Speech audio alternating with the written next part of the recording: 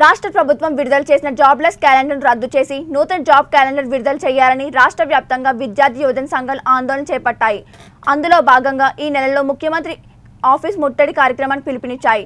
CM Jagan ఇంటిని ముట్టడించిన విద్యార్థి సంఘాలను అక్రమ అరెస్టులు చేయడం దారుణమని ప్రకాశం జిల్లా కందుకూరులో ఏఐవైఎఫ్ ఏఐఎస్ఎఫ్ టీఎన్ఎస్ఎఫ్ తెలుగు యువత విద్యార్థి యువజన సంఘాలు మండిపడ్డాయి. ఈ సందర్భంగా విద్యార్థి యువజన సంఘాల నాయకులు మాట్లాడుతూ అక్రమ అరెస్టులతో ఉద్యమాన్ని ఆపలేరని నూతన జాబ్ క్యాలెండర్ను విడుదల చేసేంత వరకు మా ఈ ఉద్యమం ఆగదని రాష్ట్ర ప్రభుత్వాన్ని హెచ్చరించారు. ఇప్పటికైనా నూతన జాబ్ క్యాలెండర్ విడుదల చేయాలని కోరారు. ప్రస్తుతం ఆంధ్రప్రదేశ్ ప్రభుత్వం రాష్ట్ర ప్రభుత్వం చేస్తున్న జాబ్ క్యాలెండర్ అనే పేరుతో నిరుద్యోగులకు అన్యాయం చేస్తున్న రాష్ట్ర ప్రభుత్వం రేపు పంతొమ్మిదో తారీఖున సెలవు కలెక్టర్ సెలవు సీఎం క్యాంపస్ ముట్టడిను అడ్డుకునేందుకు అక్రమ అరెస్టులు చేయడం అక్రమ కేసులు పెట్టడమే కాకుండా ఇట్లా మాకు అక్రమ నోటీసులు పంపించి మమ్మల్ని అక్రమ ముట్టడి చేయడం జరుగుతోంది.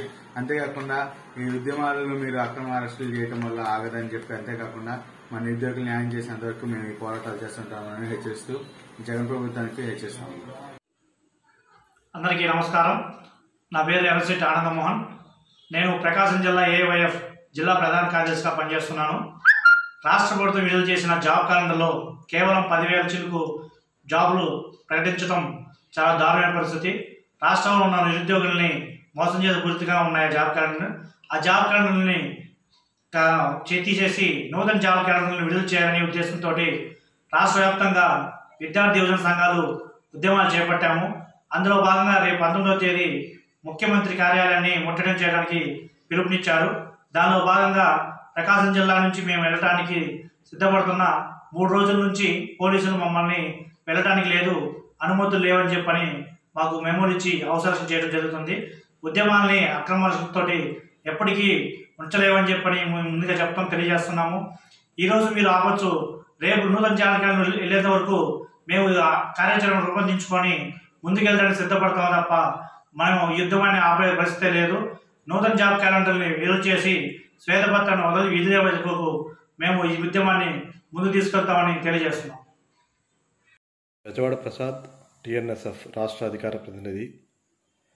ఈ జగన్ రెడ్డి ఎన్నికల ముందు రావాలి జగన్ కావాలి జగన్ యువతకు ఉద్యోగాలు రావాలంటే రావాలి జగన్ కావాలి జగన్ అనుకుంటూ రాష్ట్రం మొత్తం పాదయాత్ర చేసి రాష్ట్రంలో దాదాపు రెండు లక్షల ముప్పై వేల ఉద్యోగాలు ఖాళీగా ఉన్నాయి. నేను అధికారంలోకి రాగానే వాటన్నిటినీ భర్తీ చేస్తా అని చెప్పి ప్రతి ఊరిలో ఊదరగొట్టిన ఈ ముఖ్యమంత్రి రెండు సంవత్సరాల వరకు అటువంటి ఊసే లేకుండా గత నెలలో జాబులు లేకుండా కేవలం పదివేల ఉద్యోగాలతో మాత్రమే కూడిన ఒక జాబ్ క్యాలెండర్ రిలీజ్ చేసి రాష్ట్రంలోని యువతను నిరుద్యోగ యువతను మోసం చేశాడు.